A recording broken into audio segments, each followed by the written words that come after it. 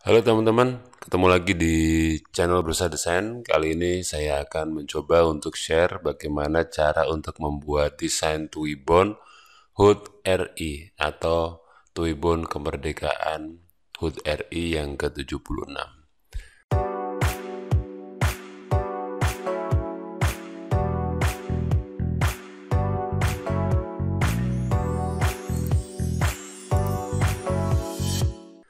Oke teman-teman, pertama yang harus kita lakukan adalah membuat ukuran ini menjadi pixel ya. Oke, ini kita rubah jadi pixel. Kemudian ukurannya kita rubah menjadi uh, boleh 1500 karena persegi ya, jadi 1500 kali 1500. Terus kemudian untuk ini kita uh, apa namanya?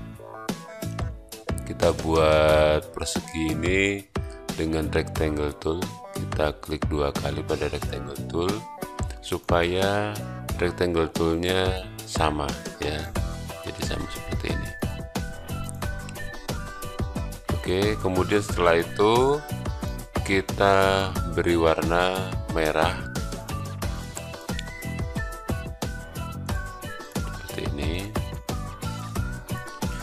kita tambahkan warna hitam sedikit saja dengan menekan kontrol pakai keyboard. Ya ini masih ditekan pada keyboard. Kemudian kita klik black sedikit saja supaya hasilnya lebih mantap. Nah teman-teman untuk ini kita berikan gradasi ya. Jadi supaya lebih menarik saja. Kita klik interactive fill tool kemudian kita arahkan ke atas dan pilih warna yang terang nah seperti ini ya teman-teman. Oke. Kemudian teman-teman kita berikan logo uh, ini.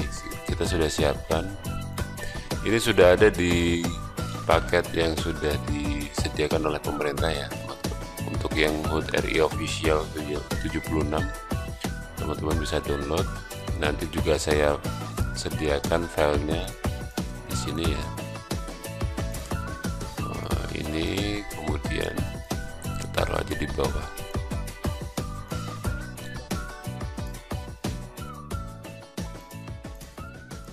kita kasih warna putih supaya lebih menarik. Kemudian bagian ini elemen-elemen ini kita kasih warna putih aja. Ini ya. Nah ini teman-teman kita masukkan bagian pojok. Nah, pengennya kan gini kan ya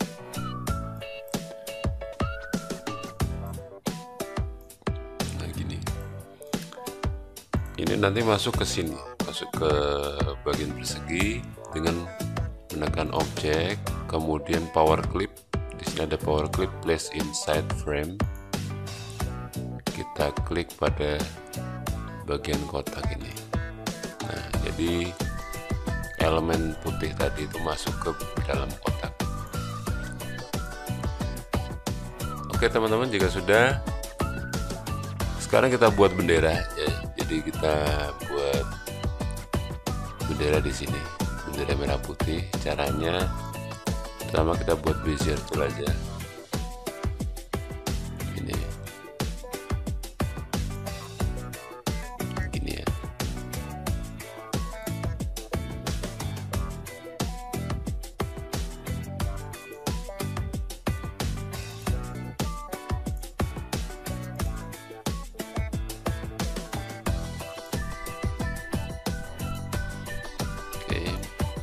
asal aja nanti kita rapikan. Kemudian ini kan masih lurus ya masih lurus-lurus ya. Kita klik pada bagian ini ya teman-teman. Nah kita klik. Nah ini ya. Kemudian muncul convert the curve ini kita klik.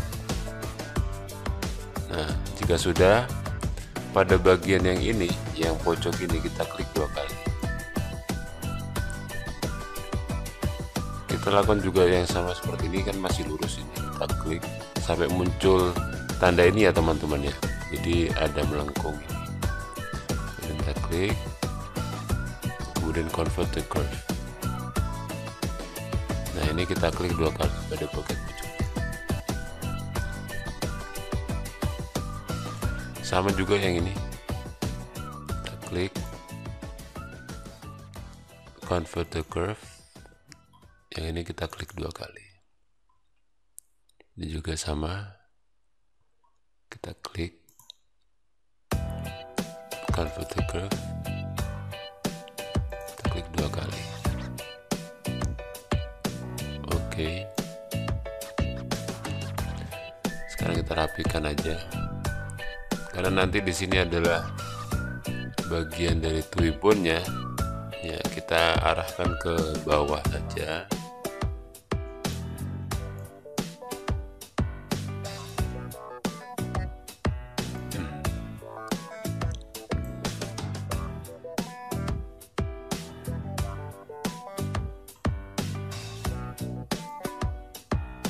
rapikan aja teman-teman ya. Jadi untuk lengkungannya nanti teman-teman uh, sekreatif aja sekreatif mungkin.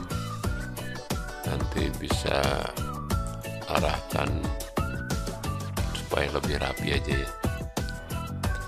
Oke jika sudah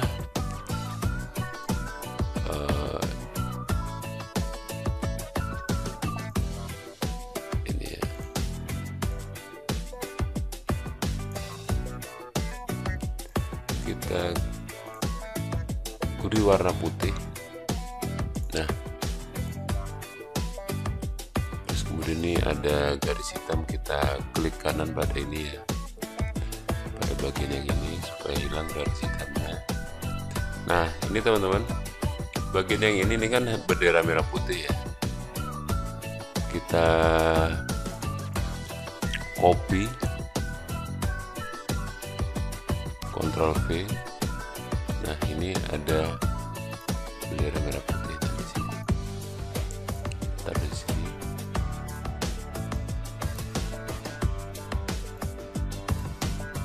Oke. Kemudian bagian yang ini kita berikan interactive fill tool. Kita beri warna lebih gelap pada yang ini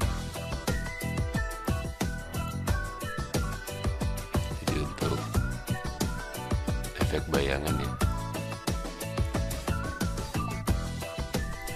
nah ini. Ini kita klik dua kali pada ini.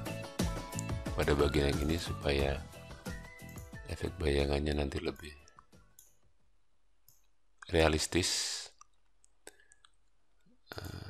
Ini juga kita klik dua kali pada bagian lengkungan kita pilih bagian yang agak gelap.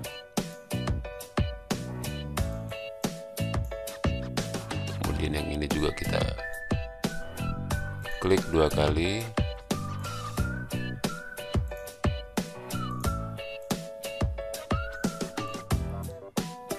Pilih bagian yang gelap. Bagian tengah ini kita klik dua kali juga. Kita pilih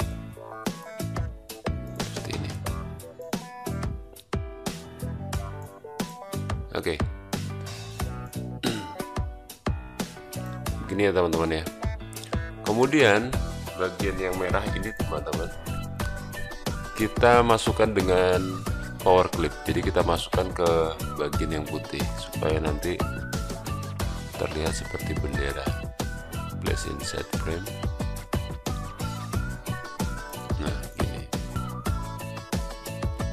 oke bendera sudah jadi ya nah untuk bagian yang ini teman-teman ini kan masih uh, ada di luar. Nanti kita masukkan ke dalam. Tapi kita kasih shadow dulu.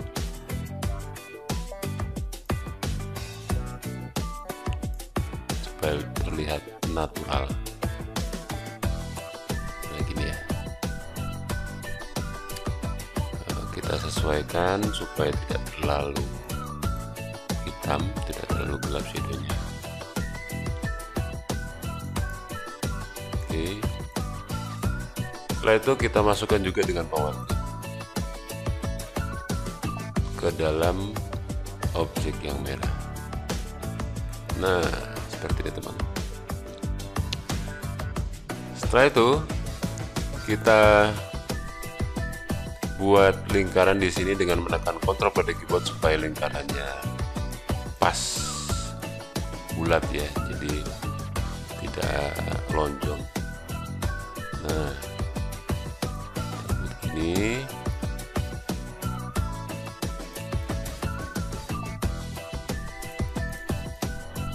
Ini nanti buat wibonya ya jadi nanti untuk meletakkan foto di sini. Uh, ini kita klik. Nah nah bagian yang ini teman-teman nanti teman-teman bisa pakai uh,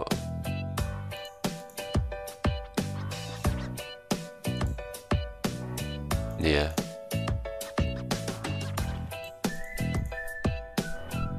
Oke, jika sudah langsung kita tekan shift pada keyboard kemudian tekan lingkaran ini ya, tekan shift pada keyboard, kemudian tekan bagian yang kotak ini. Nah, bagian ini kita klik intersect. Oh, sorry, sorry. Kita klik shift pada keyboard terus kemudian rectangle ini ya kita klik juga. Kemudian kita klik back minus front. Nah ini sudah jadi twibone teman-teman jadi nanti teman-teman bisa uh, naruh foto di sini. Lebih bagus ini kita. Nah ini supaya efeknya nanti benderanya ada di atas lingkaran. Kita edit dulu ya. Kemudian ini kita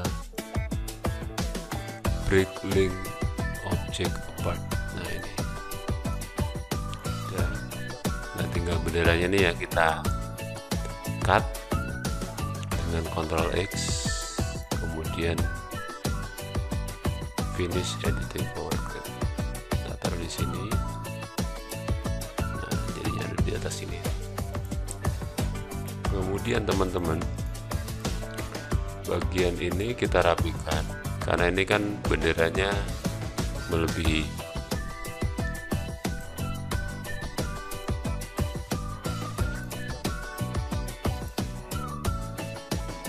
kita potong. Kita, kita klik terus kemudian kita potong ini.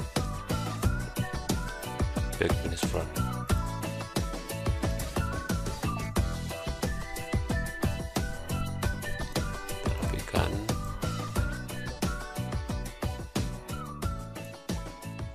Back minus front.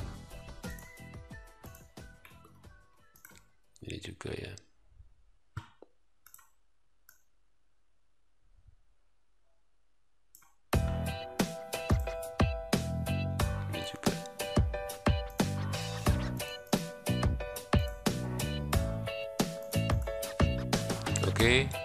sudah selesai tinggal ini kita select all.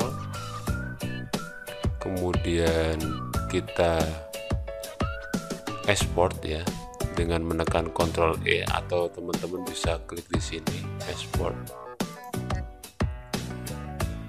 Kita simpan dengan format PNG ini ya teman-teman. Supaya apa? Nanti bagian yang belakang ini yang lingkaran itu nanti transparan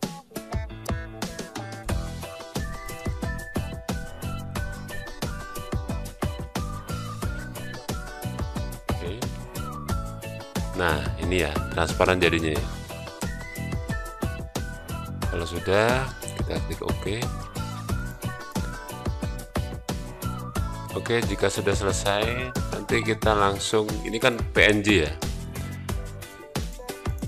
Ini sudah bisa digunakan di aplikasi Twibo Nice ataupun kalau misalnya langsung kita tambahkan foto itu juga bisa teman-teman. Di sini di Corel juga bisa ya kita taruh ini ya di bagian depan dengan menekan Ctrl Home oke jadi seperti ini. Oke teman-teman sudah jadi. Silakan uh, jika ada pertanyaan silahkan share di kolom komentar. Selamat mencoba